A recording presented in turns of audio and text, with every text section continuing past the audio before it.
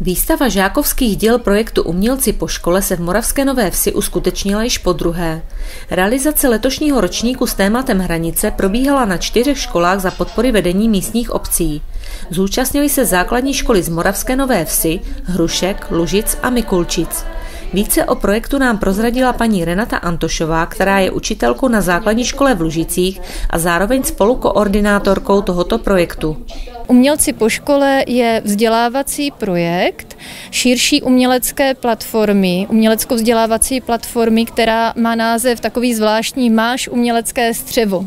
Vlastně míří k tomu, že každý člověk má nějaký vztah k umění, aniž si to třeba uvědomuje. A tato platforma se snaží propojovat lidi, kteří se uměním nezabývají, s lidmi, kteří se uměním zabývají. Takže propojuje vzdělávací instituce, propojuje je s vysokými školami, se studentem vysokých škol, s galeriemi, s výstavními prostory, třeba v Doxech v Praze. Toto všecko eh, je tímto způsobem myšleno. Tento projekt vlastně vznikl před čtyřmi lety, v roce 2019, eh, když byla doba covidu paní Bartuňková, která je jednak autorkou a jednak hlavní koordinátorkou pro Českou republiku, se rozhodla, že tento projekt začne na Praze 10. V minulém roce paní Bartuňková oslovila pana Dalibora Gabriela. Dalibor Gabriel je aktivista, který této obci i v dalších obcích pomáhal při odklízení tornáda sháněl spoustu sponzorů, stal se takovým koordinátorem pro Jižní Moravu. A v minulém školním roce se do projektu umělci po škole zapojili Lužice, Moravská Nová Ves, Hrušky. Mikulčice tehdy ještě chyběly.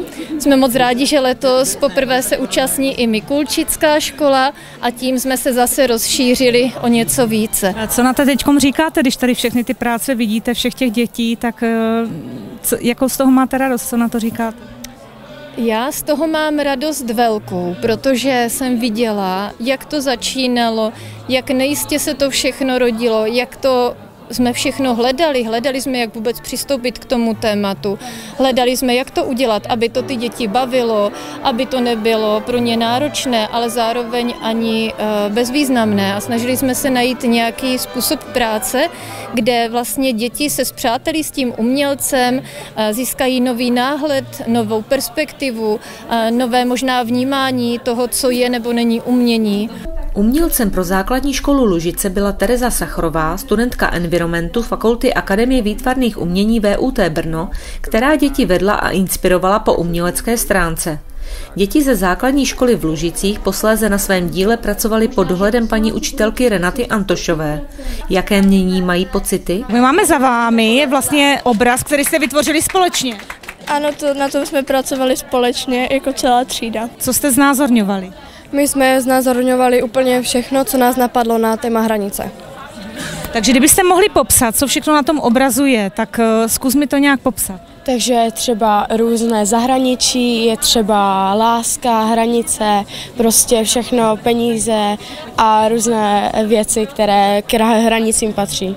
Všechno jsme dělali podle sebe, co nás napadlo, tak paní učitelka nám s tím pomohla, jestli, to, jestli by to tam mohlo být, nebo jestli by to tam nemohlo být. My bychom chtěli poděkovat paní učitelce Renatě Antošové, která nás vlastně pomohla nám tady s těmihle obrazama a dávala nám i inspirace, co tam třeba můžeme dát, když jsme nevěděli. A, roz, a ještě Teresce, která nám pomáhala a dávala nám rady, jak třeba můžeme malovat, jakými způsoby a ním bychom chtěli poděkovat.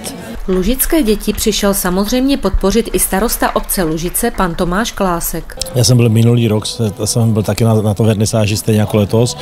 Mám radost z toho, když ty děti mají nějakou pozitivní náplň, přemýšlejí o světě samozřejmě svýma očima, svou optikou, svými zkušenostmi, ale je zajímavé sledovat prostě ty jejich názory, ten posun těch jejich názorů, formulování těch názorů e, jsou velice, bych řekl, e, adaptabilní, umí v tom dnešním světě se v, v rámci těch svých zkušeností pohybovat, nějak ho vnímají, nějak s tím zápasí, takže všechno, co vede k tomu, aby ty děti o tom světě přemýšleli, eh, uměli se k němu nějak postavit, je žádoucí, je pozitivní, je správné a je ty akce potřeba podporovat, proto jsem rád, že se Ložická škola do toho zapojila a že dokonce paní Žilka Antošová, která nás učí výtvarnou výchovu, je takovým tahounem a takovým jako eh, garantem toho projektu, tak z toho mám radost. Tak já bych nejraději poděkovala celému týmu uměleckého střeva, který díky kterému tady vůbec jsme, eh, jmenovitě Romaně Bartůňkové a na úrovni místní bych ráda poděkovala panu Daliboru Gabrielovi, který byl koordinátorem spolu se mnou pro Moravu. Poděkovala bych všem sponzorům, kteří nás podpořili, kteří eh, dodali jednak občerstvení, jednak věcné dary pro děti,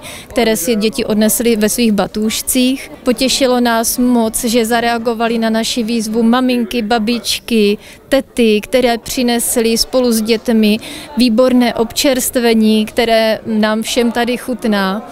A samozřejmě eh, velký dík patří obci, jednotlivým ředitelům a všem pedagogům a výtvarníkům, kteří se podíleli.